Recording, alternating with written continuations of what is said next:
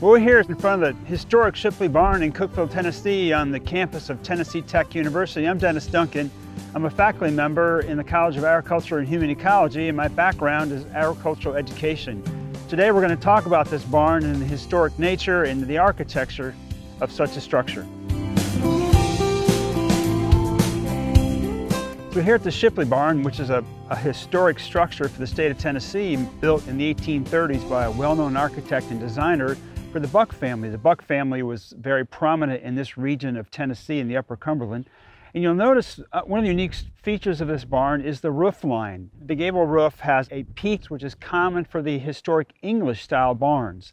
And this is a classic example of that. The main structure of the barn is the peaked roof, but then you'll see there are two structures on either side of the barn which were added later to add for more storage and livestock capacity. You may notice in the, the, the middle structure of the barn, the driveway or entrance point is short in comparison to modern barns. That is probably a six or eight foot doorway in that barn. And when this barn was constructed in the 1830s, that doorway was, was perfect for livestock.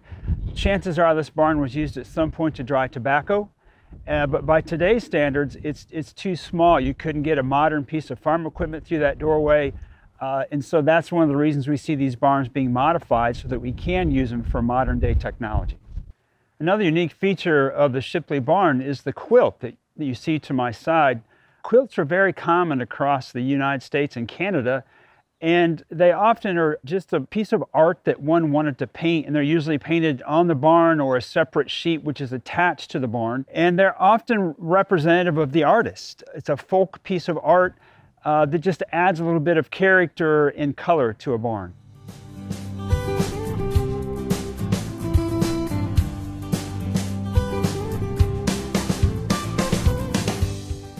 Now we're on the inside of the uh, historic Shipley barn, uh, and a couple of really unique features of this structure.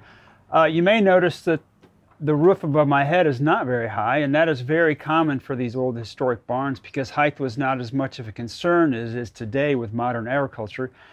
You'll notice the wall of this structure is made of large timbers that are hand hewn. And when I'm referring to hand hewn, when this barn was built in the 1830s, sawmills and methods we use today to cut wood into lumber were not available. So you would actually take a log, cut the tree down, take the log to a site, and with a special axe with vertical and horizontal cuts, you would actually square the log or have two squared sides so you could stack the logs. And this is a really good example of hand-hewn timbers that are used in this barn.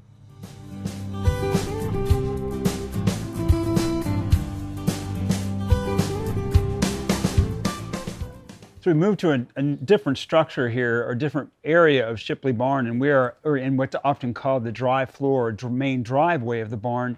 So this is where you would have, at this time in the 1830s when it was built, would have been horse-drawn equipment. So you would have horse-drawn wagons and other equipment that you'd pull in with a team of horses.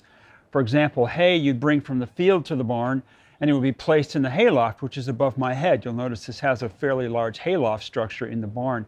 Also to my left, you'll notice the wall of the, of the dry floor area is made of, again, of those hand-hewn timbers. Something else that's unique about this barn is the dovetail construction. Dovetailing you find in modern furniture or in historic furniture, but not that common in barns. But so they connected the timbers together with a dovetail structure. There's, there are no nails, there are no pegs, there are no adhesive, just the weight of these timbers are what are holding this structure, keeping this structure upright. Another feature of the Shipley barn is the foundation. Uh, the foundation is, there's no concrete in this barn. We didn't have concrete available in the 1830s, so they set this barn on hand-hewn timbers. They're horizontal along the base, you can see those, and those are sitting on rock. Well, you may notice as you look down the side of the wall, the wall uh, has dips along sections. So what's happened over time is those timbers have either cracked or they've warped a little bit just because of the sheer weight of this structure. But again, they're setting on rock that would have been harvested from this region of the Upper Cumberland and used as the foundation.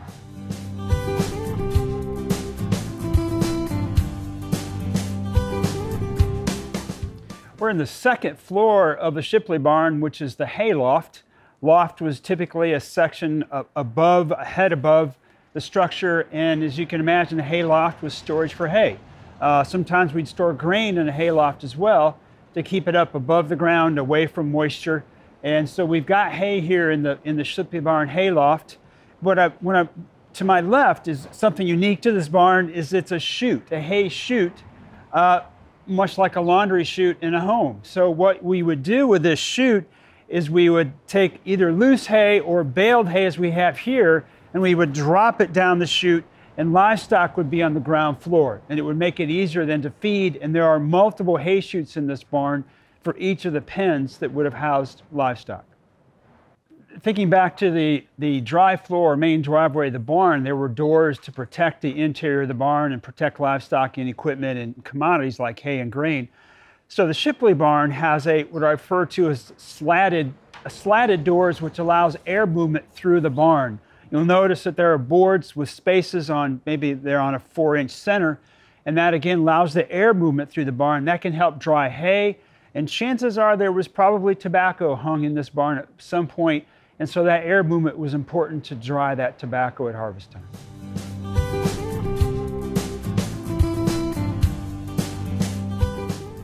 Now we're going to move away from a historic structure and look at a more modern day barn that is very common across the United States and other areas of parts of North America, uh, referred to as a pole barn. And we'll show you in a minute where, where that name originates. But the structure is a wood structure, wood framing with metal siding. And you'll notice on this building, uh, both the siding and the roof are made of metal, so it's very low maintenance. One of the advantages of a pole barn structure is the size, the sheer size of this barn. Notice the doorway where you would pull in a piece of farm equipment or a large truck. That door is probably 14 to 16 feet high, so you can get a, a very large piece of equipment in this building, much different than the old historic barns, which maybe had an 8 or 10 foot doorway and really limited you in what you could use in today's modern agriculture. So we're inside the pole barn, and as you'll notice, we, we want to point out a couple of things that, are, that refer to a pole barn.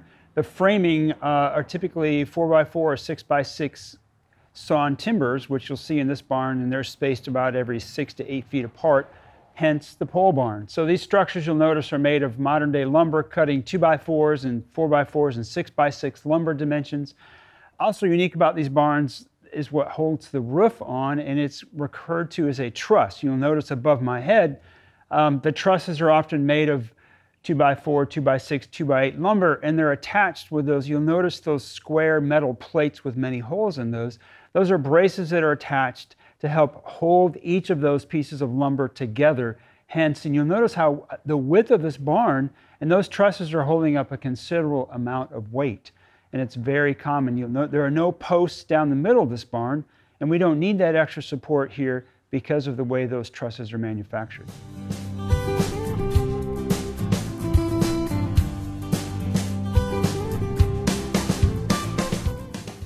I'm standing in front of another uh, unique structure in regards to farm construction or barn construction. This is a early to mid 20th century barn with a gambrel roof. And you'll notice there are different angles on the roof line of the structure different from the English style structure and this was unique because it provided more hay storage for the farmer. Uh, the hay loft in this building is above the door. You'll notice the door on the front of the barn where you would drive equipment and, and horses into the barn and then above that is the loft. And so this type of architecture just provided more storage for the farmer. You may notice at the, at the peak of this roof line on the barn, there are horizontal boards or slats. There's also two diamond-shaped holes in the barn. Those are important for air circulation. So if a farmer had hay in the haymow in that second floor of the structure, you'd want air movement through there to keep the hay dry and then also to provide some ventilation for livestock that may be residing on the ground floor of the barn. One other feature about this barn that is very common in barns is that at some point during the life of the barn, the farmer added what we sometimes refer to as a lean-to structure on either side of the barn. And this barn actually has one on each side. It provided more storage for equipment and oftentimes housing for livestock. So I wanted to show you in the inside of the barn with a gambrel roof. Notice the, the architecture and how what we refer to are the, the rafters are built in this barn Notice how the wood is cut at different angles. This entire area was mainly used for storage of hay that would have been fed to animals. So another feature of this hayloft and this gambrel uh, roof is um, a, an exit point in the side of the barn where the farmer could have either brought hay up to the loft from the ground or could open the door and drop hay down to the ground to livestock. So it was just another way to make uh, it easier to move hay back and forth, which was all done by hand.